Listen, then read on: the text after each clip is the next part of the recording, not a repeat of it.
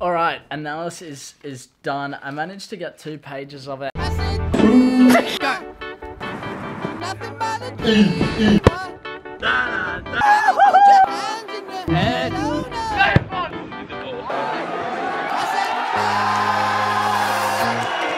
Yo, yo, yo, what's going on, T20? I hope you're all super well. This is the first time I've stepped outside today. It's about 2 o'clock, probably the hottest part of the day, and extremely bright. I need to turn that brightness down. It is baking out here. So hot. This is why I don't like Australia. This is why I was so fortunate last year to go off to England, travel over there, play games, train a whole heap. In winter, we trained in snow, all that sort of cool stuff. I had the Australian winter, then I had the England winter, then I had the Australian winter.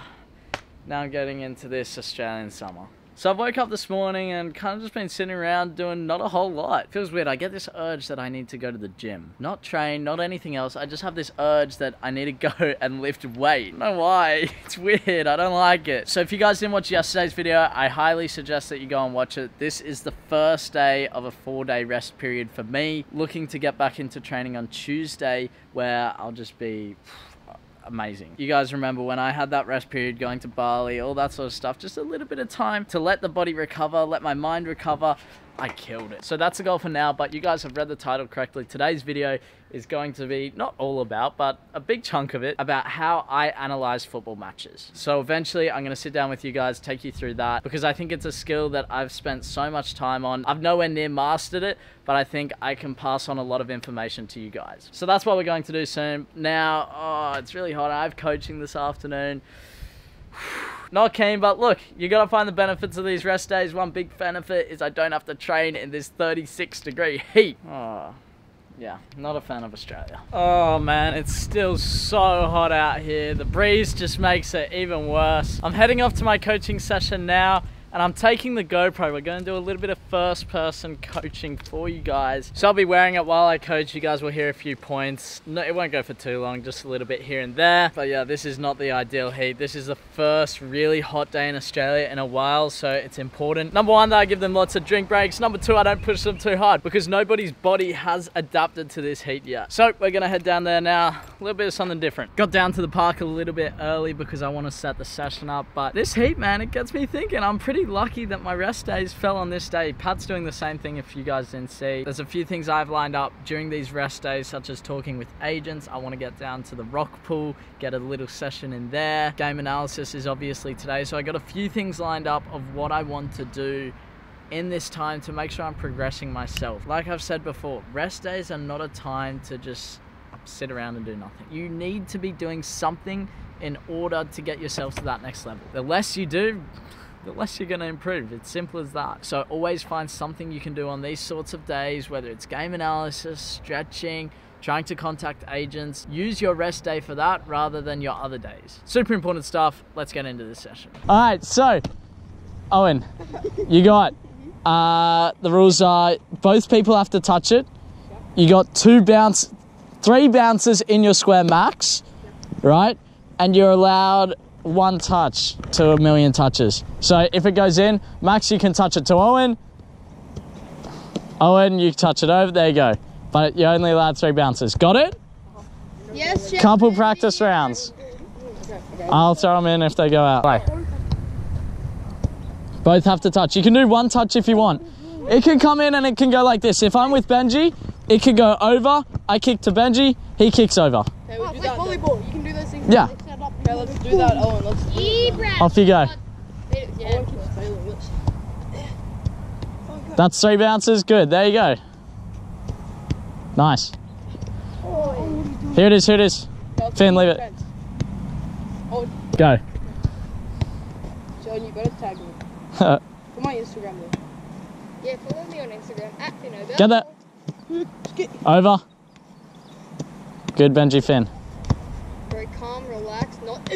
Nice. Now who's going to put the placement shot? There you go, Benji. Nice.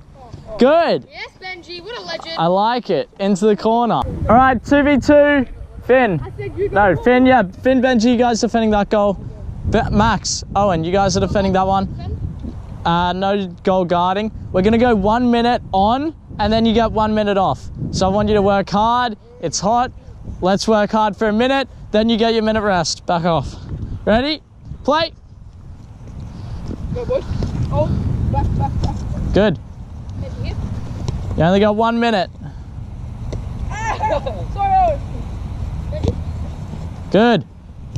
Missed. Play. Ball's just gonna go in straight away. Go to go to. Ball in again. Came off Max. Yeah. Owen, press him, press him. Good, Max. Play. Oh. Go, go. That time's wrong. I accidentally started it late. Good. I like that pass. Good vision there, Max. Owen, great run. Out. Play. You got 2v1. You got 2v1. oh, oh, sorry. Miss. Yeah, I thought that was. Play. Halfway gone. Good, Owen. I like it. Oh, it was Max. Play. Out. 15 to go. Get there, on. Nice. Whites, I need an option. Leave it, Max. Leave it, leave it. Play. Five seconds. Work hard. I'll let it play out. Let it play out. Let it play out. Stop. Good round. I like it. Now you get your minute rest.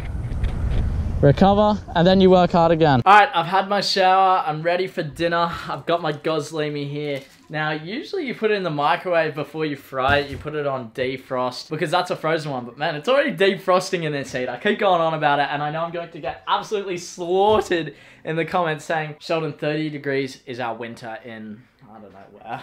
But yeah, that's going to be my dinner, a gozlemi. Then also here, we got the start of Sydney FC versus Melbourne City, two absolutely great teams. So I'm going to sit down and watch this. I'm just going to enjoy this one because I'm going to do a bit more game analysis later on the Arsenal game. I forget who they were versing, but I'm going to continue the last half of that and take you guys through the sorts of things that I look for. But yeah, this should be a good game, and it's good for me to start watching the A-League because this is where I aspire to be at the end of these 365 days. So I need to see the level they're at, not necessarily compare myself, but see the things they do. How can I implement that into my game? And then you obviously look at the Premier League and take things from there. So just learning all the time, super, super important. Oh man, I nearly blew up the house. I accidentally put the alfoil. I wasn't thinking. I put the aluminum or the aluminium, as we call it, in the microwave, and this is metal basically. And yeah, we all know don't put metal in the microwave. I just I wasn't thinking. So I put it in. I go down here to feed Spencer, and I look up. I see boom, boom, boom. Man, it was like a battlefield in there. easy decision for the referee and a silly one from Brandon O'Neill. Didn't really need to do it. They had plenty of bodies back. Vidošić does well. He goes across. And we got the dog. Spenny! Spencer! Spenner! Spency!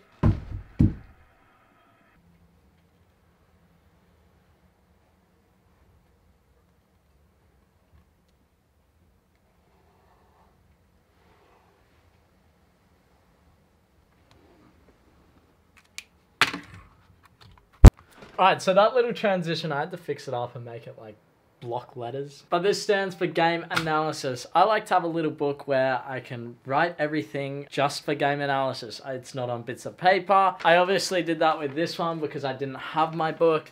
I have another one somewhere around here. I'm not exactly sure where it is, but I have another one where I've written down stuff that I've focused on during games. It's just a, I love having little books that I write in. I can't find it, but I know it's somewhere. Uh, it looks like they don't actually hold the replays on the website for more than a week, which is absolutely ridiculous. So I will move on to the Arsenal Crystal Palace game. I just want to continue analyzing Ozil. I'll probably do 20 to 25 minutes, basically until my mind just blows out. That's when I decide to stop. And for anyone else asking how to find the games, either Optus Sport if you're in Australia, sign up, get an account, whatever. I'm not sponsored by them. In fact, I don't even like them, but it is one way to watch the games. If you're not with Optus Sport, then just look online. There's so many streaming websites that you can find. Watch the match there or, you know, watch it somewhere else. I don't know. There's so many places you can find games. Money.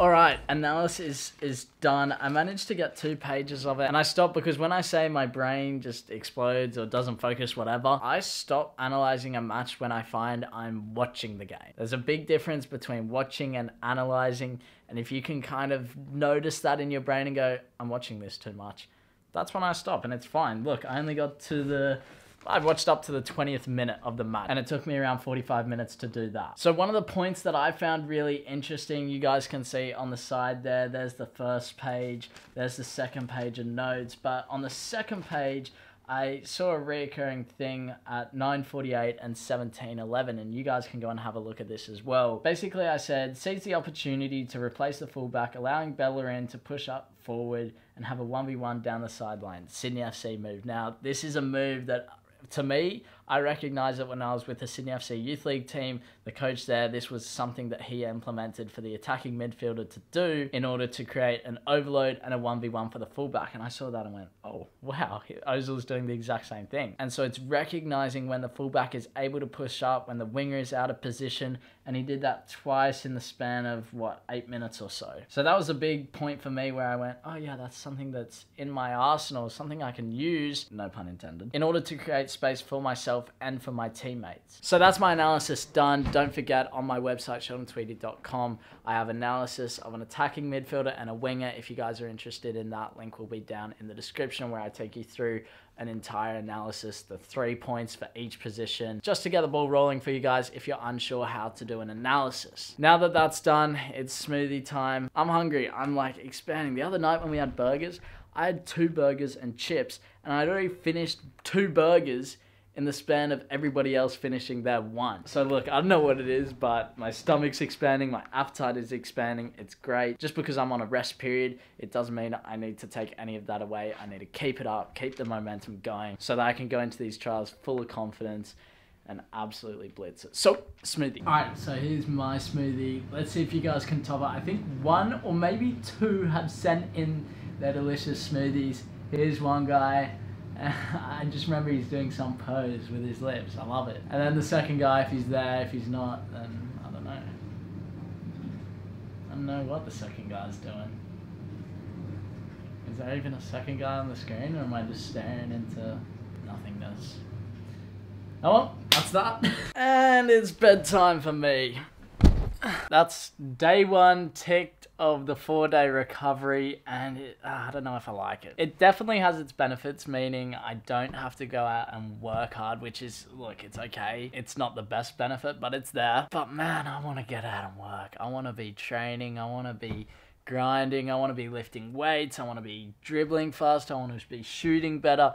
All that sort of stuff. But I know what's best for me is to have this four day rest, come back into it, and destroy everything. So look, it sucks. It's not the most fun thing for me. And at times I'm sitting here just eager to get out and work. But look, like I've said, I've been working hard for five weeks straight or so. It's time to step off the pedal a little bit, let my body, my mind recover and then get back into it on Tuesday. So that's a plan. I hope I helped at least one of you guys with game analysis. If I did, go out there, write your stuff down, send me photos on Instagram, and I'll chuck them on next time I do game analysis. I want to see your notes. Let's all share with each other. But yeah, I really do hope you guys were able to learn something there. Team Tweedie, I'm signing out. Make sure you leave a like on the video, subscribe if you're around here, join the journal, see you tomorrow's video. Listen, listen.